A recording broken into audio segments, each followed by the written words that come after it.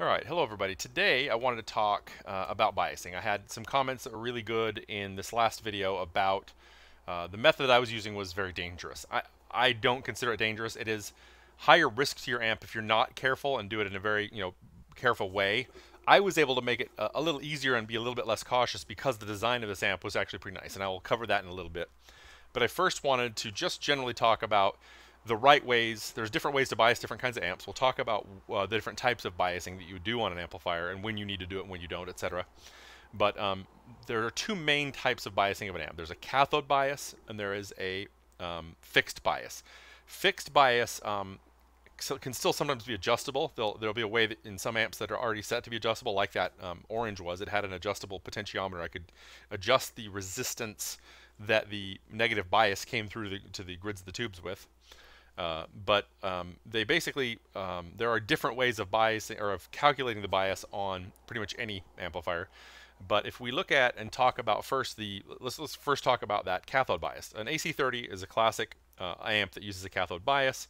Uh, and the way that works is all of the cathodes of these four power tubes, the EL84s, are tied together to a 50 ohm resistor and then a, I think it's a 250 microfarad capacitor. So this is actually generally fairly hot and it does um, push those tubes if that's part of the tone of the AC30.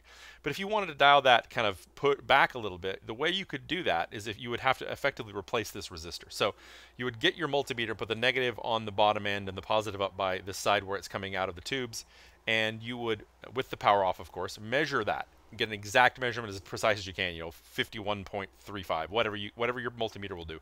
Write that down. Then you will leave the multimeter around that and turn the amp on and let it come up to warm up. You have to give it sometimes a good few minutes to really warm up and, and sit there and idle.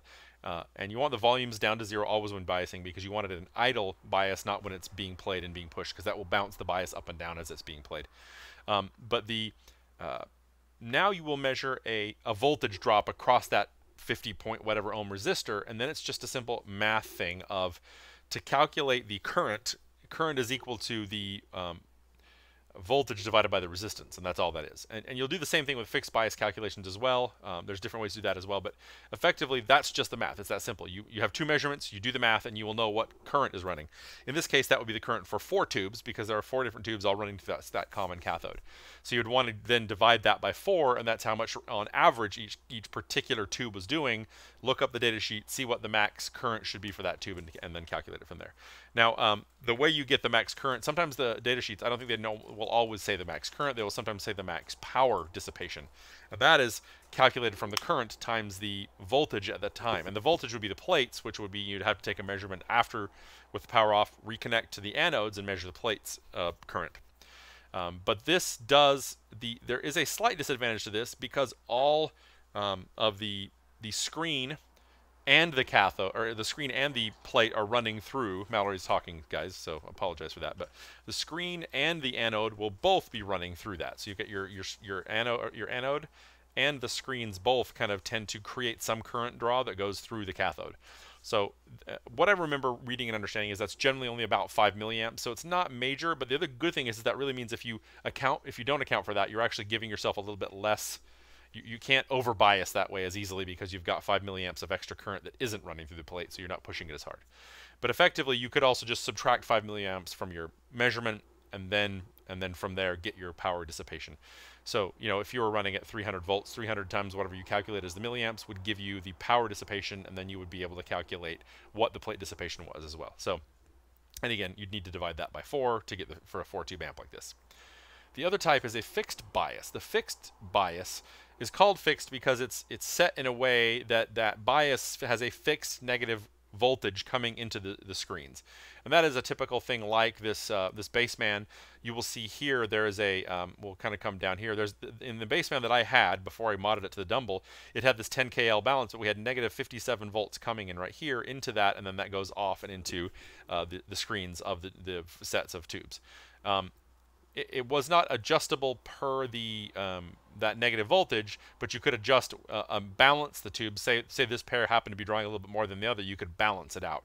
I modified it with a Dumble to make that instead be a type where I could adjust the bias itself directly. But um, that is this other type. Uh, another type of amp, obviously, that does that was this one, which is the um, orange that I showed in the last video, and it does have an adjustable potentiometer here that sends the negative bias out. So, you know, it's bringing in a voltage off of the transformer. You've got some capacitors and resistors, and then this this potentiometer allows you to change how much current it is allowing to come through. Uh, and the way I measured it, we're going to come in, we're going to zoom in, uh, and I'll tell you why this was a little bit safer in general. Was I was connecting right here to the yellow, white, and black tabs. These were big, thick, obvious tabs uh, and they were not, and I wasn't connecting to pin three of the, this uh, of these tubes or something similar to get this measurement. I was just connecting directly to those tabs. So one of the comments he made, which is absolutely correct, if you're not careful, you could bump uh, pin three and two together, and two is the heater, and you could arc and damage the tube or damage other components of the amp. And so uh, you shouldn't ever actively be switching components or uh, at that high voltage range in and out of the amp while it's powered on. The only reason I felt safe doing that was because these were big, thick tabs and they were nowhere near the tubes themselves. So, um, you know, I still think that it is not the wisest choice to be doing that. I don't feel too uncomfortable doing it, but you should always be careful when doing those kinds of things. If you are dealing with the direct pins of the tubes that you need to measure it on, always shut the amp off in between changing these connections and use the appropriate type where it will clamp down well on that pin and you can clearly see that it's not touching anything else before you power on the amplifier or you can do damage. Um, that is what's the method is called the transformer shunt method, and you saw me covering that at the time. That is also covered here in this in the Trainwreck pages uh, that I mentioned briefly.